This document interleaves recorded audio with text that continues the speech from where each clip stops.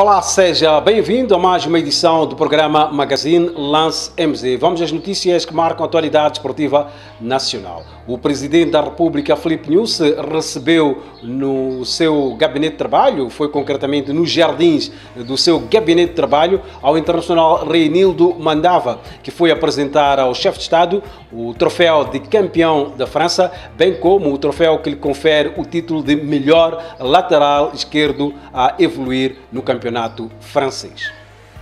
Há uma semana, o presidente da República, Felipe Nunes, esteve de visita à França e quis manter uma conversa com o Reinildo Mandava, que, por estar empenhado e concentrado na reta final do campeonato francês, não pode manter contacto com o estadista moçambicano.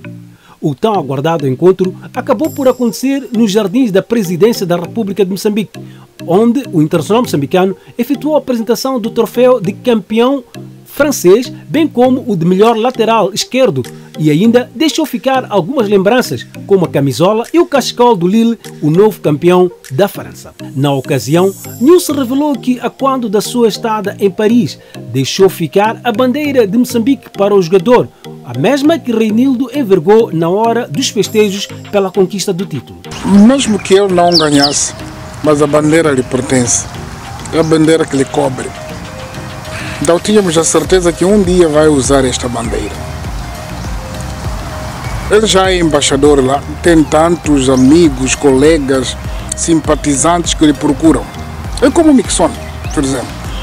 Então, quando está ali com colegas, ele tem bandeira do país dele, tem mapa do país dele. Se tiver produtos tipo castanha, de vez em quando, quando aparece camarão, que também lá tem, mas camarão de Moçambique é outro camarão. Então, deixamos isso com toda a clareza de que no futebol tudo pode acontecer. Empate, mas aliás a minha chamada foi exatamente para dizer que não se suicida se não acontecer. Portanto, todos os resultados são possíveis, mas nós todos estamos a torcer por si. Reinildo Mandava explicou que a conquista do título encheu de orgulho a si e a todos os moçambicanos que estiveram representados pela bandeira, esperando que aquele tenha sido um momento para que se esquecessem dos problemas que afligem o país. Eu sei que, que o país está tá a passar por, por, por algumas, algumas dificuldades, alguns de. Mas eu senti que, que é agora que tem, tem, tentar fazer o, o povo esquecer um pouco ou não estar a lembrar sempre de coisas mais que ou menos boas que estão a acontecer. Então senti-me muito orgulhoso por estar ali com a bandeira do meu país e saber que estou a carregar é, milhões, milhões de pessoas. Então senti-me mesmo muito orgulhoso, fiquei muito, muito, muito feliz mesmo. Mandava disse que a conquista do título representa o momento mais alto da sua carreira, mas que não muda em nada na sua forma de ser. Eu sou uma pessoa que Reinildo sempre vai ser Reinildo. Campeão, porque já tive situações em que deixei de divisão também, mas sempre com sempre com cabeça erguida, sempre com foco, trabalhar sempre. Então, não é por agora eu ser campeão é que vou mudar a minha forma de ser. Então vou continuar sendo aquele Reinildo que as pessoas conhecem, amigo de todo mundo, conversa, conversador, falador, é, brincalhão. Então aquele, aquele, aquele Reinildo que as pessoas conhecem. Com a conquista do título francês, Reinildo vai participar pela segunda vez na Liga dos Campeões Europeus.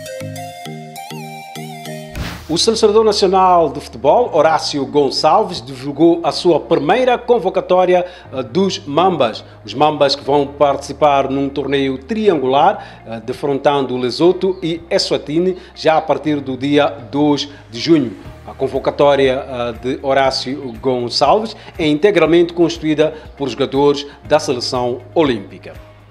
O selecionador nacional de futebol, Horácio Gonçalves, divulgou na manhã de quarta-feira a sua primeira convocatória, tendo em vista o torneio triangular a realizar entre os dias 2 e 8 de junho, com os Mambas a defrontarem o Lesoto e Eswatini no Estádio Nacional do Zimpeto. Gonçalves convocou 25 jogadores da seleção olímpica que vai tomar parte no torneio da COSAFA, agendado para ter lugar em julho. A primeira convocatória de Horácio Gonçalves constam quatro jogadores da Black Bulls, igual número do Costa do Sol, sendo que realce vai para a chamada dos jogadores que, em dezembro último, conquistaram o título no torneio COSAFA, nomeadamente Kimi Savala, Fidel e Martinho, e cinco jogadores que atuam em Portugal, designadamente Jenny Catamo, do Sporting Clube de Portugal, Maestro de Vitória de Guimarães, Bruno Langa, do Amora Futebol Clube e os maritimistas Bonera e Neymar Canhamba.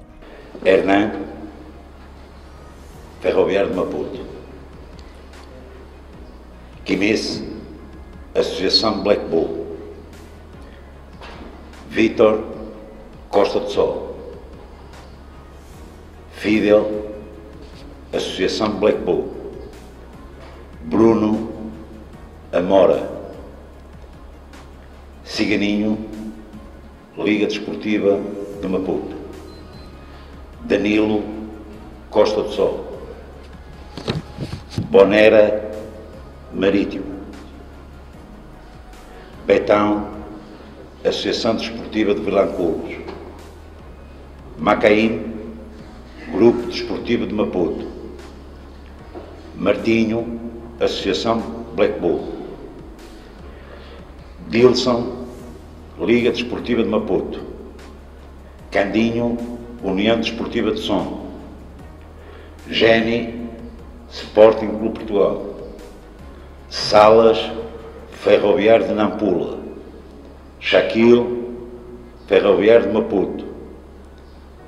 Maestro, Vitória de Guimarães. Mapangano, Ferroviário de Maputo. Maré, Ferroviário da Beira. Nilton, Costa do Sol. Melk, Associação Black Bull. Neymar, Marítimo.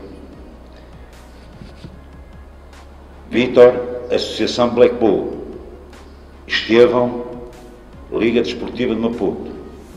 E Mário, Costa do Sol.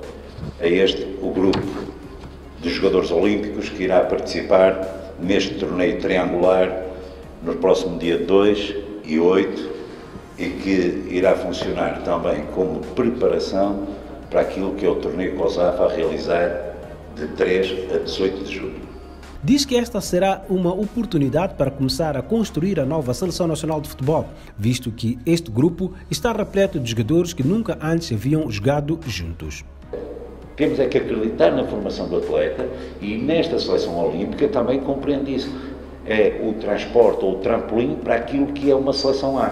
Por isso é que nós estamos uh, uh, na participação pela primeira vez com uma seleção olímpica. São jovens atletas, todos, todos estão no ativo, naturalmente, e foi dentro desta perspectiva que nós tentamos criar esta seleção olímpica, o participar neste caso, ou no COSAFA também com esta seleção, não será naturalmente todo este grupo poderá oscilar aqui um ou outro elemento, naturalmente, mediante aquilo que vai continuar, a continuidade das observações que vamos fazendo, mas a intenção é uma e clara. A estreia de Gonçalves no banco de suplentes dos Mambas será no dia 2 diante do Lesoto, para a 8 de junho voltar a jogar com a Eswatini, dois adversários com os quais o novo timoneiro da Seleção Nacional pretende dar ritmo aos jogadores para que estejam em condições de abordar o torneio COSAFA a decorrer em julho. Eu quero que tirem os meus jogadores, e neste caso são jovens que estão naquele vazio, no tal vazio que falávamos há pouco, e que temos uma oportunidade para eles também começarem já a interligar-se. E esta, estes dois jogos que vamos realizar, que serão, vamos chamar de preparação para o COSAFA, é ótimo porque vai interligar atletas que muitos deles nunca se encontraram na mesma equipa e outros que provavelmente encontraram-se numa seleção sub-17 ou, enfim, no sub-20. E após dois ou três anos vão reencontrar-se. O torneio triangular terá como palco o Estádio Nacional do Zimpeto, com todas as partidas a iniciarem pelas 15 horas. O Ferroviário de Maputo não foi para além dos quartos de final na Basketball Africa League. Acabou perdendo os quartos de final desta competição no jogo diante ao Patriots do Ruanda, uma partida que contou com a presença do presidente Paul Kagame e que teve como convidado o presidente francês Emmanuel Macron. O campeão nacional de basquetebol sênior masculino Ferroviário de Maputo acabou sendo uma das surpresas agradáveis da edição pioneira da Basketball Africa League, visto que os pupilos de Milagre Macome saíram de Maputo condicionados e sem grandes perspectivas de resultados positivos, devido ao facto de a competição estar interrompida no país há mais de um ano e meio devido a restrições impostas pela pandemia da Covid-19. O sonho de Ferroviário de Maputo em chegar às meias finais foi interrompido perante duas importantes figuras, Paul Kagame, presidente de Ruanda, e Emmanuel Macron, presidente da França, este último que está de visita ao país da África. Num jogo em que se antevia algum equilíbrio entre as duas equipas, em que o rapper e jogador americano Joy Cole, que representou os anfitriões nos três primeiros jogos, não esteve presente, o Ferro Verde Maputo viu o seu jogo a ficar condicionado desde o primeiro quarto, eh, que terminou com 24-15 favorável aos Patriots, muito por culpa das faltas assinaladas a Álvaro Masso e a Deji Baro, bem como da falta de acerto no lançamento exterior, que fez com que ao intervalo o resultado fosse de 42-39 favorável à equipa da casa. No terceiro quarto, Macome viu-se impedido de utilizar Massa e Baro como havia planeado. Ainda assim, o Ferroviário conseguiu um parcial de 12-18, que colocou o resultado em 54-57, que relançou o jogo. Porém, no quarto e último quarto, veio de cima a habilidade da equipa de arbitragem, que interferiu muito no jogo, apitando faltas atrás de faltas aos jogadores moçambicanos. Muchate atingiu a quinta falta e Cabango e Álvaro Massa terminaram o jogo com quatro faltas cada um.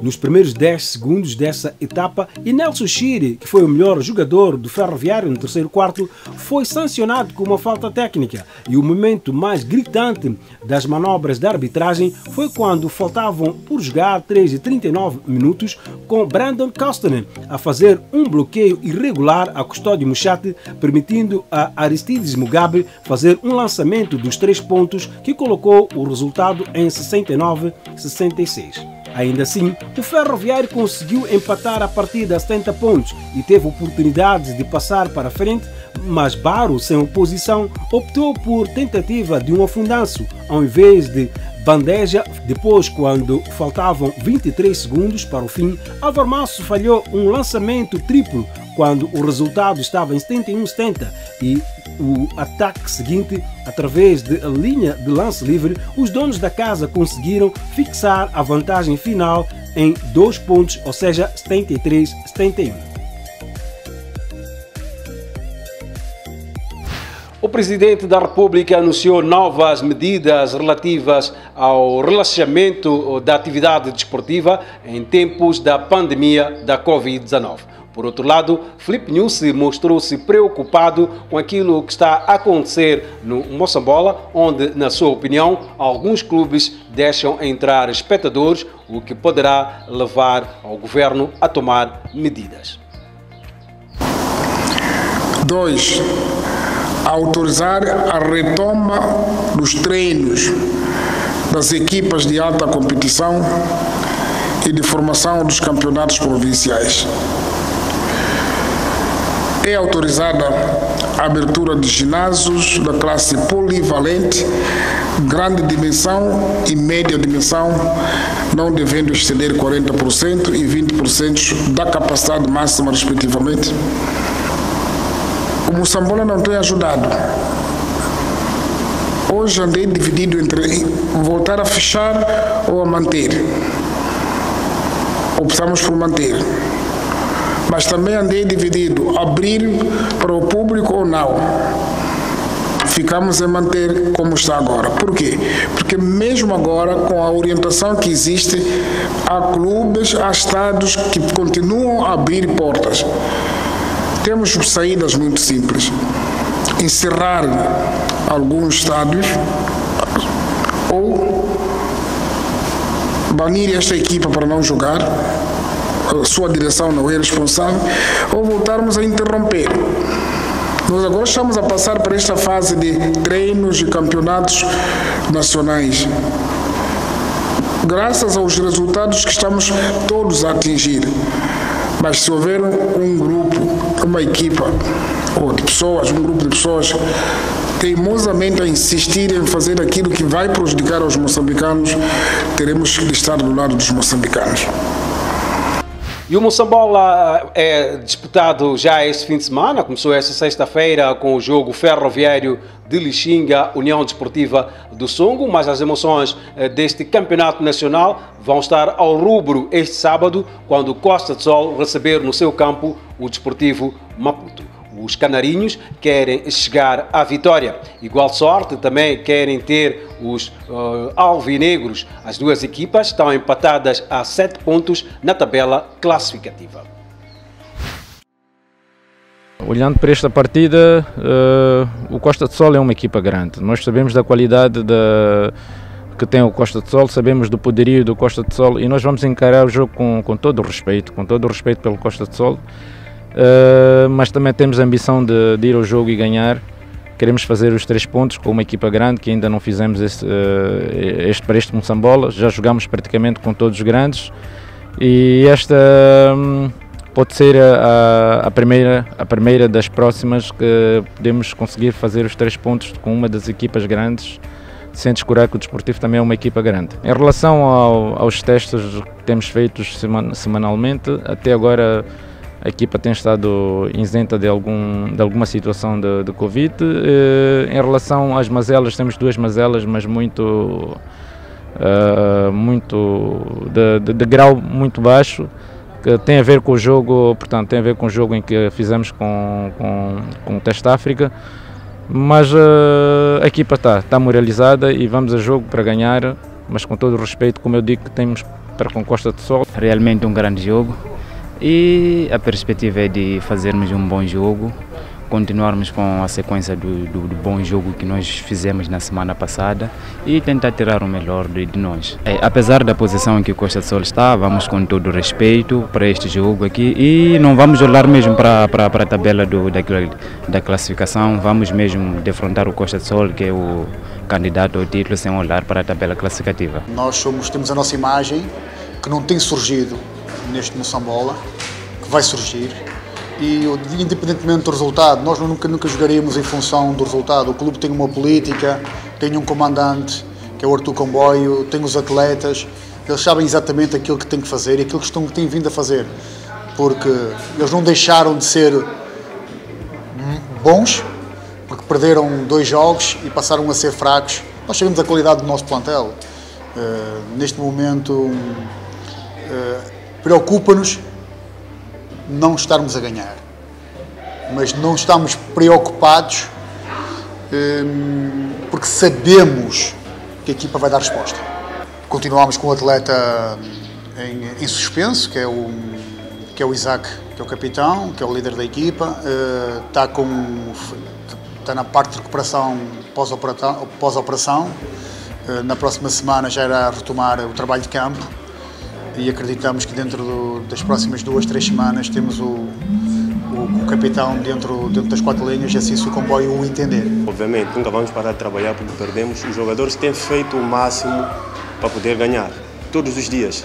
Mesmo que num sábado, num domingo, vamos e perdemos, e perdemos o jogo, voltamos para, para, para casa. Segunda-feira temos que trabalhar para poder melhorar no outro jogo. É isso que fizemos. Perdemos o jogo contra Som, não baixamos a, a, as cabeças. Viemos, vamos fazer o trabalho de casa e vamos jogar contra o desportivo. Eu, a minha expectativa agora, dos meus colegas, é ganhar o jogo. Estamos aqui para trabalhar para ganhar o jogo. E o ferroviário de Maputo vai ter uma deslocação difícil para o Caldeirão do Chiveve, onde no próximo domingo vai defrontar a turma ah, do ferroviário da Beira. Nós trabalhamos jogo a jogo, e, e não foge à regra. Como eu disse antes, o nosso objetivo está focado mesmo a atingir os, os, lugares cimeiros. E falando do jogo da Beira no concreto, sabemos que vamos ter um adversário complicado a jogar em casa, mas estamos focados em ir para a Beira e tirar os três pontos lá para, para conseguirmos alcançar, acho que neste momento, o possível lugar, se ganharmos a Beira, o segundo lugar. A equipa está confiante, está já a trabalhar já há muito tempo juntos, então e o trabalho dos mísseis, então tentamos implementar e com responsabilidade e muita humildade, tentamos sempre fazer o que, que os mísseis dizem e o trabalho vem depois, né? É, o sucesso. Então aquilo é sinônimo de muito trabalho e, claro, responsabilidade também. É, para já, a, a, nas nossas cabeças, vamos lá mesmo para conseguir os três pontos. Depois, o resto já vem depois, né? Então, vamos lá para vencer os jogos, conseguir os três pontos e voltarmos para casa. O líder ABB quer manter a liderança neste Moçambola 2021. No jogo que vai ter lugar já no domingo, pretendem vencer a turma eh, do, da Liga Desportiva de Maputo. A nossa moral está, tá elevada desde, desde, desde o início do campeonato. Treinar, treinar nestas condições, com estas condições de trabalho, com um grupo de jogadores que quer, com uma paixão enorme pelo jogo, pelo futebol, de querer ser melhor, de querer evoluir, eh, nós estamos sempre, estamos sempre motivados. É um jogo bem disputado, tendo em conta que as duas equipes são minimamente organizadas e tendo em conta que é uma Sambola, um campeonato muito complicado e não existem jogos fáceis. Preocupamos-nos com o Nampula, agora estamos preocupados com a Liga e depois vamos preocupar com o adversário seguinte, nem sei quem é, mas sinceramente agora foi hoje analisamos analisamos os vídeos do jogo do, do Nampula, o que é que fizemos bem, o que é que fizemos menos bem. Temos situações que, apesar de termos ganho 3 não, não, fomos, não fomos muito competentes. Hoje mostramos, hoje estamos a recuperar os, os, os que jogaram mais tempo, os outros trabalharam mais um bocadinho, mais forte. Uh, e amanhã começamos a, preparar a estratégia para o jogo de, contra a Liga Desportiva. Jogamos em casa, temos a total responsabilidade de ter os três pontos, porque é em nossa casa e em nossa casa mandamos nós. A Liga, a Liga é um adversário muito difícil, é auguro um, um, jogo muito complicado da, da, nossa parte, contra uma equipa, como digo, muito bem treinada e muito organizada, nos vai criar muitas dificuldades. Agora é lógico que nós vamos, vamos querer assumir o jogo, vamos querer, querer ganhar, como, como em todos os jogos, como fizemos até aqui, mas, eh, mas espero um jogo, um jogo muito, muito equilibrado e muito difícil para a nossa parte. Vamos conhecer a tabela completa de, de, jogos e também recordar os resultados da sétima jornada, bem como a classificação a esta altura do Moçambola 2021. A Associação Black Bulls mantém-se invicta no Moçambola após derrotar o Ferroviário Nacala por 3 a 0 em jogo realizado em Nampula. Eis os resultados da sétima jornada. Machete do Mucuba 0, Ferroviário da Beira 1. Liga Desportiva 3, Ferroviário de Nampula 0. Ferroviário de Maputo 1, Ferroviário de Lixinga 0. União Desportiva de Songo 1, Costa do Sol 0. Desportivo Maputo 2, Testa África de Chimoio 1. A Associação Desportiva de Vilanculo 0, Incomate Chinavan 0. Na classificação, a Black Bull segue em primeiro com 19 pontos, mais um que o Ferroviário da Beira. Em terceiro está o Ferroviário de Maputo com 15 pontos. A Associação Desportiva de Vilanculo já quarta com 13. A União Desportiva de Songo vem a seguir com 12. A Liga Desportiva em combate de Chinavan tem ambos 10 pontos. Ferroviário de Lixinga está em oitavo com 9, mais um que o Ferroviário de Nacala. O Costa do Sol segue em décimo com 7 pontos, os mesmos que o Desportivo Maputo em décimo primeiro. Abaixo da linha de água estão o Testa África Chimoio com 4, Ferroviário de Nampula com 3 e o Machete de Mucuba com 2 pontos. Na oitava jornada teremos os seguintes jogos: Ferroviário da Beira, Ferroviário de Maputo, Black Bulls, Liga Desportiva de Maputo, Ferroviário de Lixinga, União Desportiva do Songo, Costa do Sol, Desportivo Maputo, Testa África de Chimoio, Ferroviário de Nacala e Ferroviário de Nampula, Associação Desportiva de Vilanculo.